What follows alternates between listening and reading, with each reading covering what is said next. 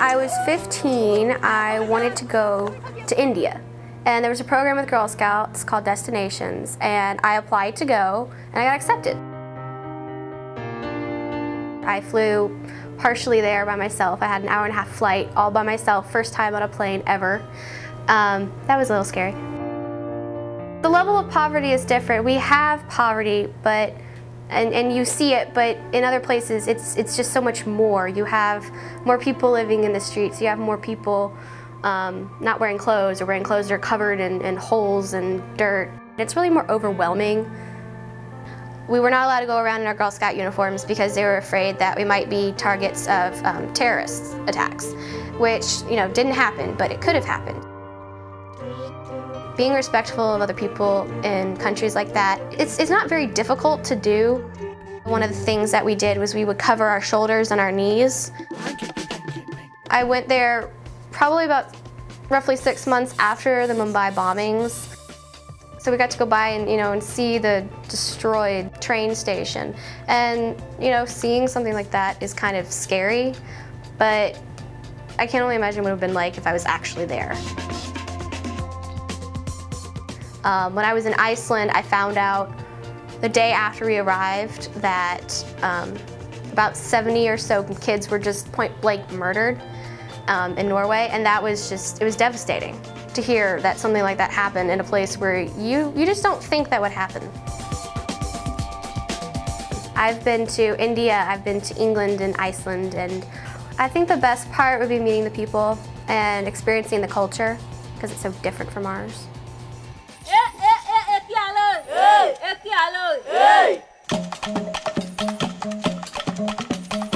Going to Haiti in August, my check bag had um, deflated soccer balls. Uh, had three of those.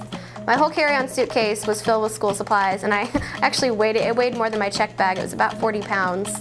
I had probably about 20 to 30 books at the time, about four or five reams of paper. I think about 20 different boxes of colored pencils and scissors and tons of books. It was really inspiring for me personally going to India and being able to connect with people and help them so that when I got to Haiti, I kind of already had the skills I needed to meet up with people and talk to them.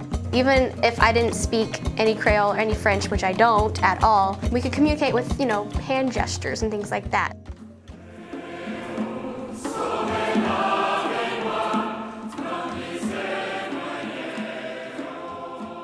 Before we went out to the job site, we were actually taught some of the songs that they would sing at the work site.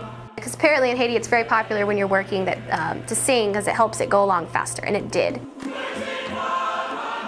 As we were singing one of the Haitian freedom songs, we would randomly start bursting out into other songs because we couldn't remember one of the lines, so we'd start singing Disney songs. And then the kids that were helping us, that were uh, living in the village, would try to copy us. We were teaching each other through correction and moving rocks. Singing songs with people, it's just kind of, it lifts up your spirit and it makes you kind of feel empowered and strong. And I just felt very connected with people when we were all, you know, singing together. Makes it seem very powerful.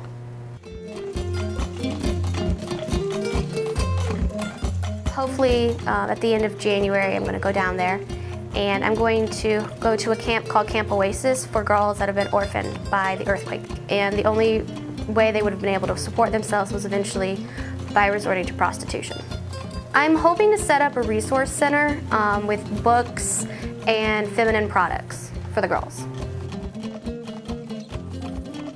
People can help me by um, donating books in French or um, even gift cards for books if they'd like.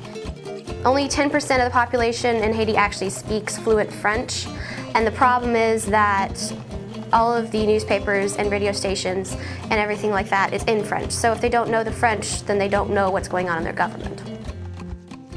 I'm hoping to kind of establish a sense of, I don't know, I guess hope, I guess would be a good way to put it, because it'll teach the girls that they don't have to rely on somebody else, they, they can rely on themselves. It's kind of a sense of empowerment when you realize, oh, I can read. It kind of starts the, oh, I can do something else. I can go to school. I can have whatever job I want. I'm looking for books like Harry Potter or Chronicles of Narnia, um, anything like teenage, interesting adventure books, something that you would want to read. These girls are basically like us, but they don't speak English, so whatever you would want to read is what they're going to want to read. Well, I'd love to have like uh, over 500 books, but however many I can get donated or collect myself would be great. Well, they're a little difficult to find. Uh, I have seen some, however, online, places like Amazon and eBay, um, and sometimes uh, used bookstores will have some. I just received my first copy um, in the mail um, anonymously. First Harry Potter book. It's in French, I'm not exactly sure what it says. It's very exciting. When I turn 18 in the spring, I'm going to set up a nonprofit organization called HIPPO, which stands for Helping Initiate Powerful and Positive Opportunities. I need um, a, a, lawyer or an attorney um, to do some pro bono work for me to help set up the nonprofit. I have come to realize that it's not that people do not want to learn, it's that they don't have the resources or the opportunities to learn.